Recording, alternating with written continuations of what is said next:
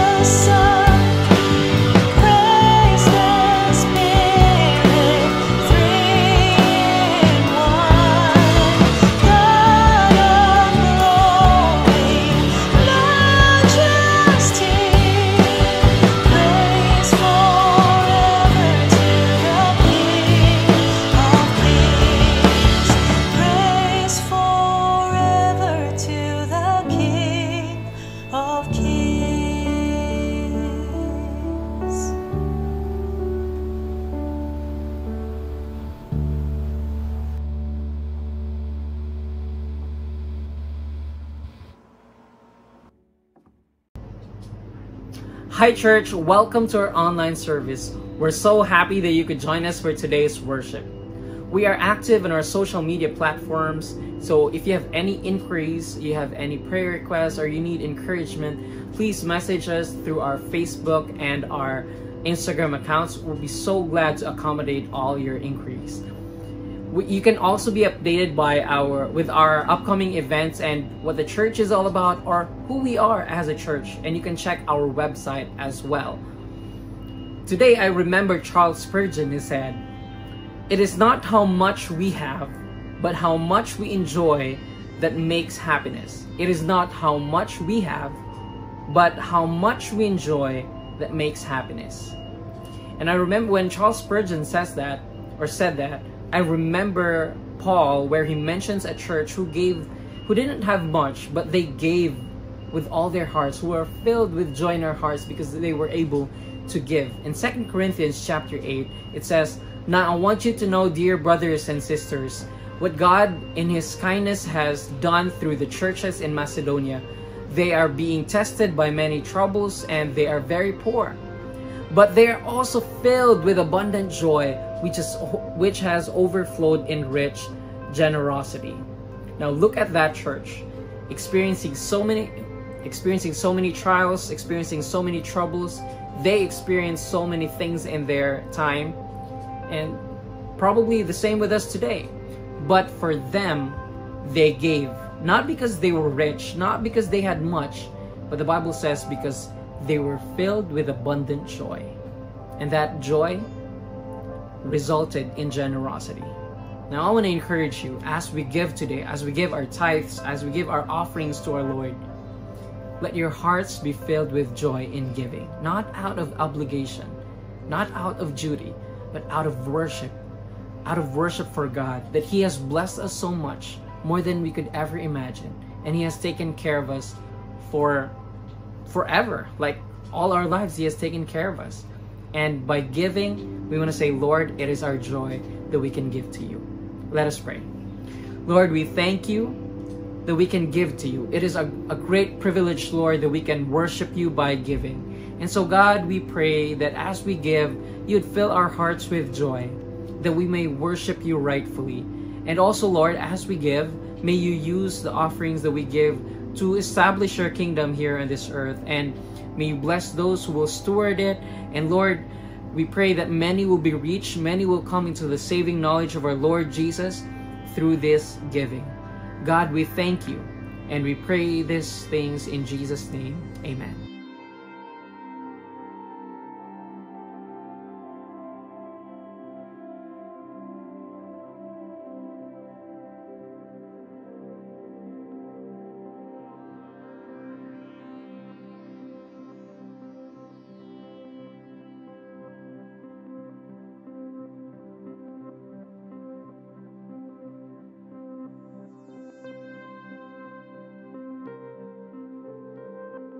It is now time for us to listen to God's word through Brother Jonathan.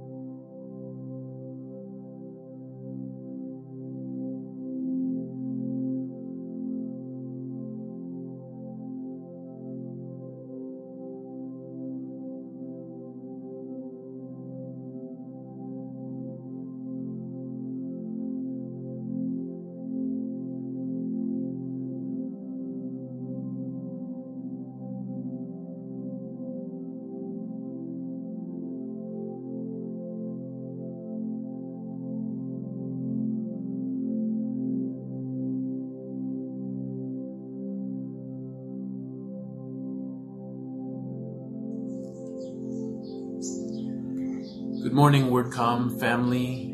Blessed Sunday to you all. This morning, we're going to reflect together on a beautiful story of transformation from the Bible. Really, we could say it's a story of conversion. Now, sometimes when we think of conversion, you know, we, we think of the story of the conversion of Saul on the road to Damascus, where he was knocked off the horse and blinded and uh, ends up really being completely changed in a moment from Saul to Paul. But this morning we're going to reflect on a story of a different kind of conversion on another road, the road to Emmaus. And this is, I would like to say, more of a story of a gentle, gradual awakening. A conversion that happens over time on a process of things becoming more clear and unfolding.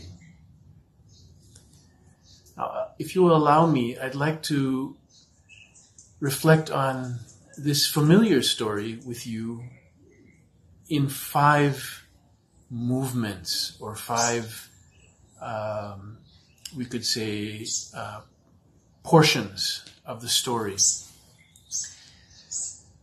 The first movement is that Jesus draws near the disciples, but they don't recognize him. Now, this itself already gives us two very important uh, things to be aware of.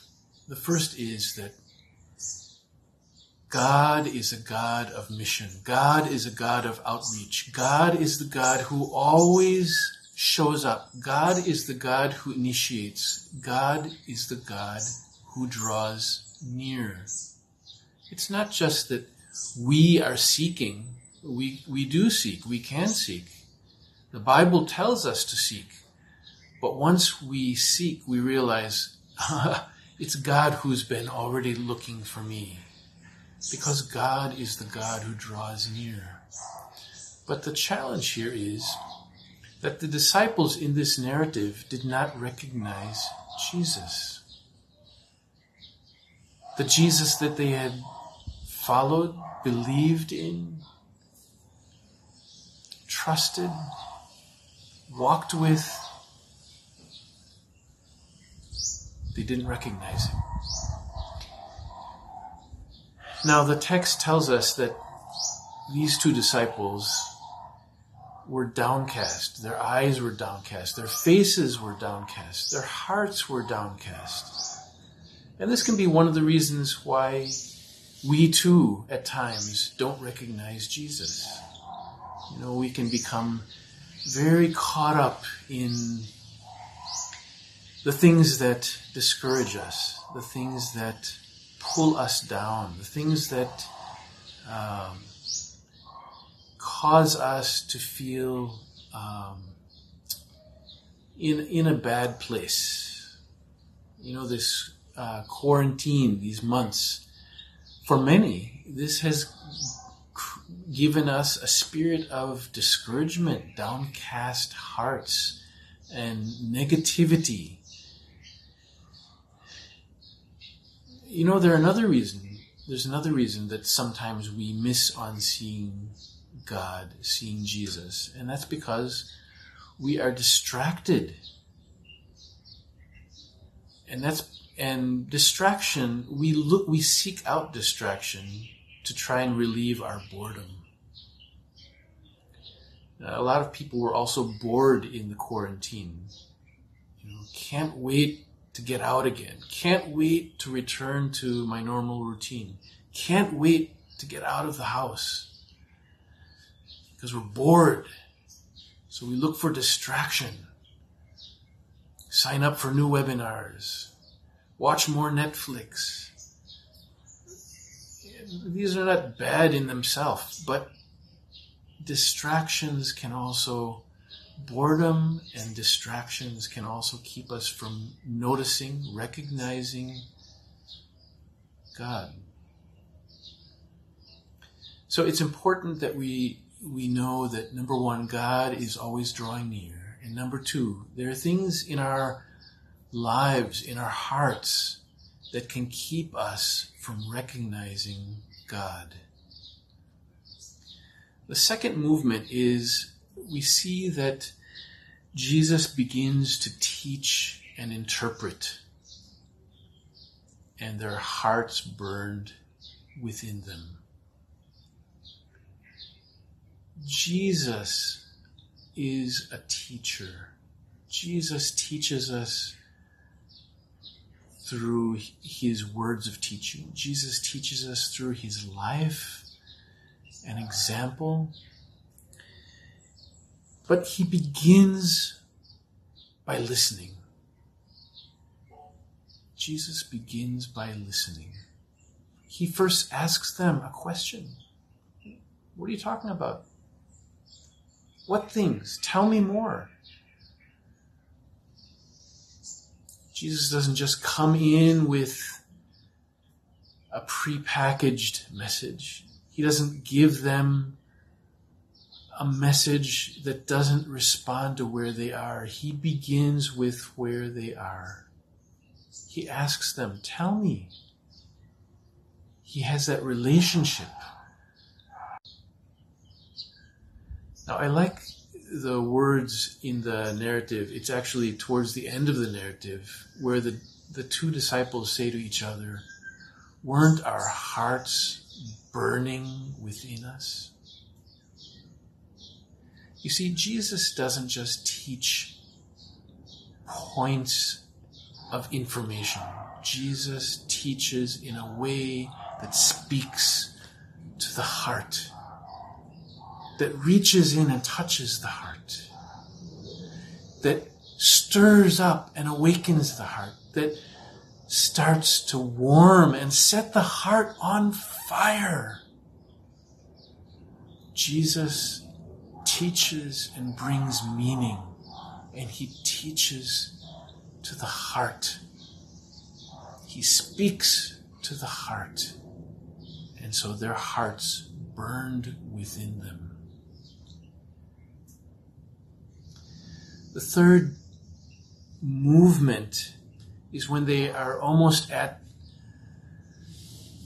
the town or almost at the home of these two disciples in Emmaus after walking for a few hours. They're almost there. You know, the sun is probably just beginning to set. And he pretends like he's going to keep going. He pretends like he has somewhere else to go. He pretends like he doesn't really want to stay. And yet, these two disciples prevail on him. They say, No, no, no, no, no, no, please, please, come in. Come in and stay. It's almost night. Gabina.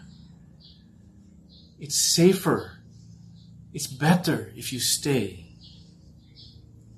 And so, in this third movement, Jesus enters as guest. He enters as guest when they invite him. He doesn't presume, doesn't force. In fact, we could say he almost pretends like he wants to go on, but they invite him. And so he stays as guest.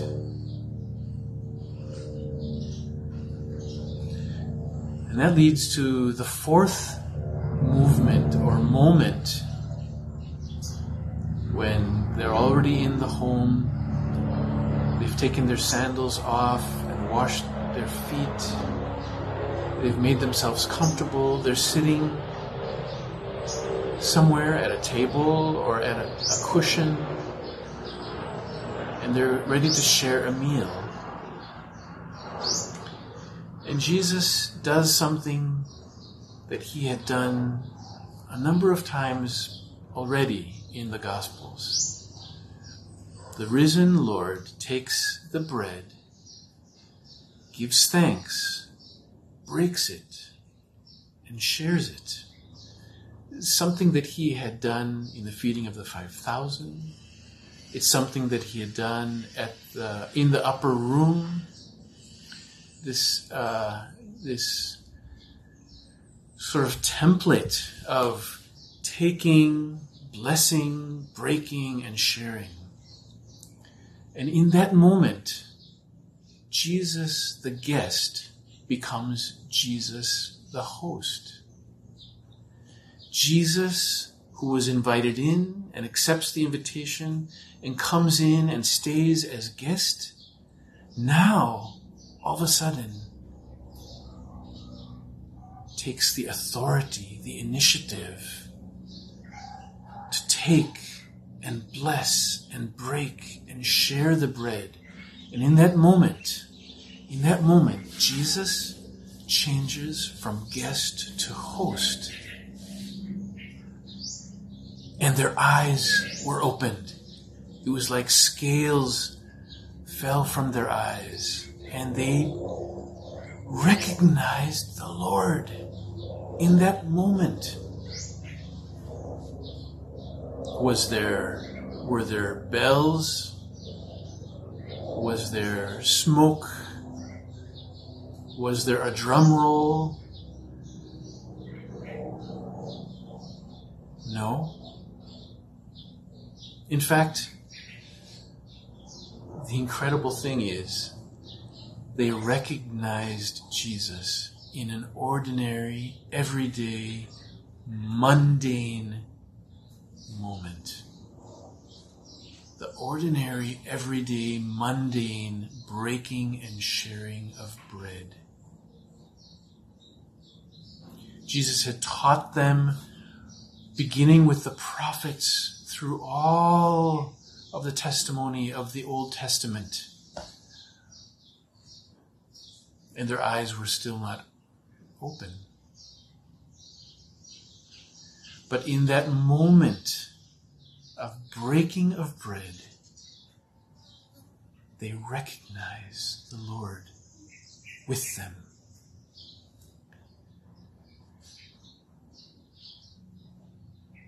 How often do we miss seeing Jesus, seeing the Lord, finding God in the most ordinary, mundane, everyday moments, relationships, situations.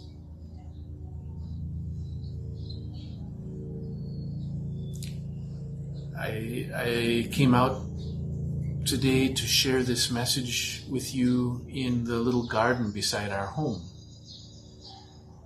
And the garden teaches me so many things. The ways that soil needs to be cultivated, the ways that sprouts fight against all odds to come up in between the crack in cement, the ways that uh, life continues to flourish but also needs care.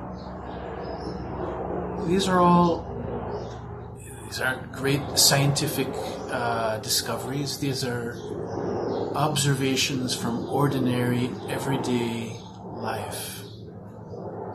God is like that. God comes to us in a handshake, in a smile. God speaks to us in our tired body. God speaks to us in uh, the beautiful harmony of a song. God speaks to us in so many ordinary ways. We just need to have eyes and hearts that are open, ready, receptive, attentive to notice that the risen Lord is with us.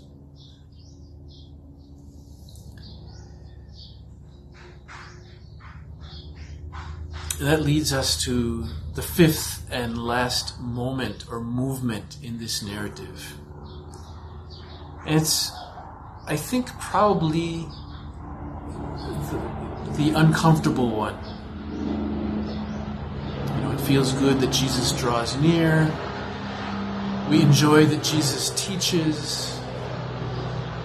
We are so grateful when Jesus is our guest and oh, praise God, it's wonderful when our eyes are opened and we recognize the Lord as our host.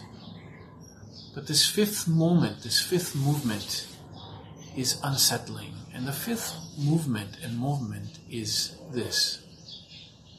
As soon as they saw Jesus for who he was, as soon as they recognized the Lord, he disappears from their sight.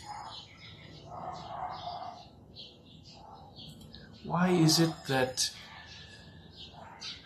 moments of awesome intimacy can't last forever? Why is it that victories in life and in faith don't keep on coming? Why is it that experiences of faith are sometimes fleeting and hard to, to hold on to, elusive even. Well, maybe that's the whole meaning of the faith journey. Faith is believing what we cannot see. They had seen the risen Christ. They had recognized Jesus. But then he was taken away. He was again invisible to them. But oh, that moment of recognition, that moment of knowing, knowing that they know who had been with them and who was with them and who was alive changed these two disciples forever. They got up from the table, ran out the door, and hurried back to Jerusalem in the middle of the night to tell the rest of the disciples everything that had happened.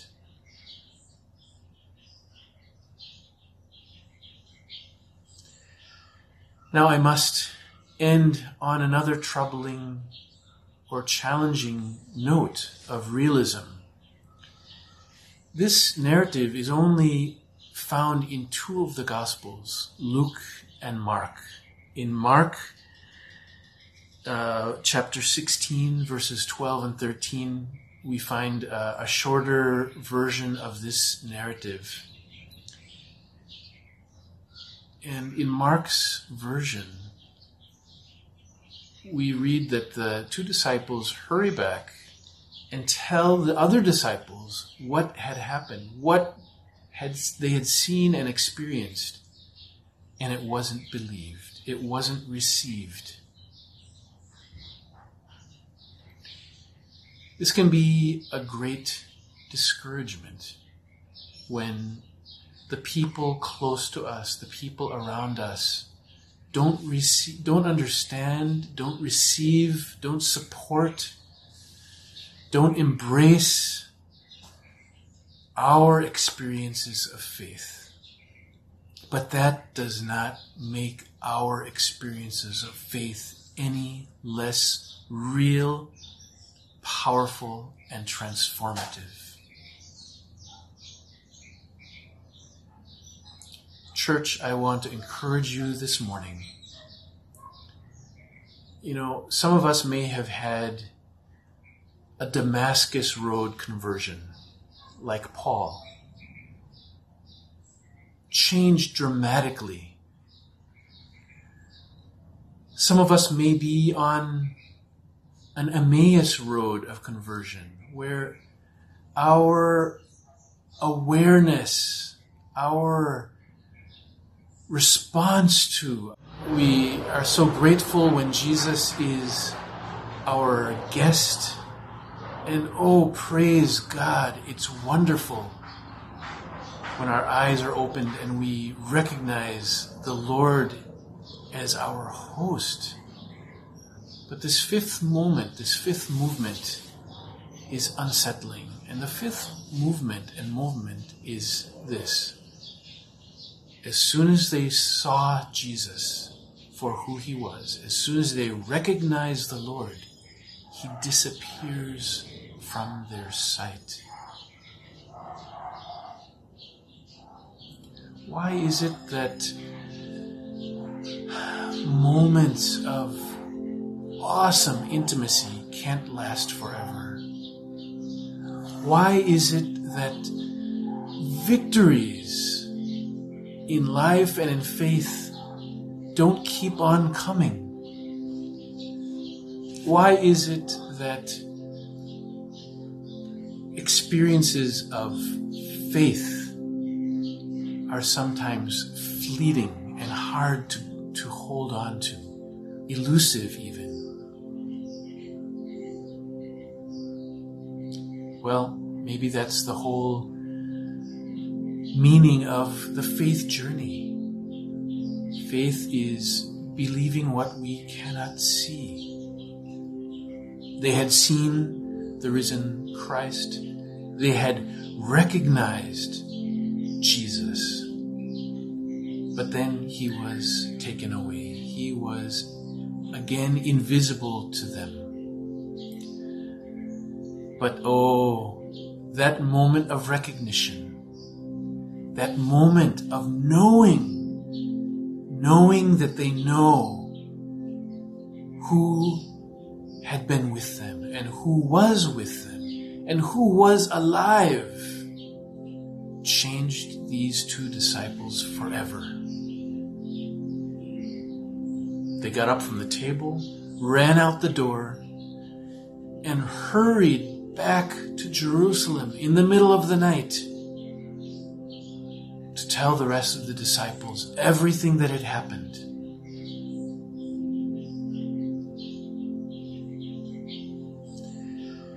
Now I must end on another troubling or challenging note of realism. This narrative is only found in two of the Gospels, Luke and Mark in Mark uh, chapter 16, verses 12 and 13, we find uh, a shorter version of this narrative. And in Mark's version, we read that the two disciples hurry back and tell the other disciples what had happened, what had they had seen and experienced, and it wasn't believed it wasn't received. This can be a great discouragement when the people close to us, the people around us, don't receive, don't understand, don't receive, don't support, don't embrace our experiences of faith. But that does not make our experiences of faith any less real, powerful, and transformative. Church, I want to encourage you this morning. You know, some of us may have had a Damascus Road conversion, like Paul. change dramatically some of us may be on an Emmaus road of conversion where our awareness, our response to, our embrace and understanding is something that's just growing and building and emerging over a long process of time. But I want to encourage you this morning that God draws near. God draws near always. God always shows up. God teaches to our heart. God teaches in ways that speak to and touch the deepest parts of our hearts to make them warm and alive and burning. God, on our invitation, enters our hearts and our lives as guest. But then God also initiates and authoritatively becomes our host, sharing with us life in ways that we understand and recognize. And God changes us deeply so that even in the times, the moments, the seasons where we feel like we don't see God anymore, we know deep in our hearts, even when others don't believe or reject our message, that God is alive and with us and has changed us forever. Amen.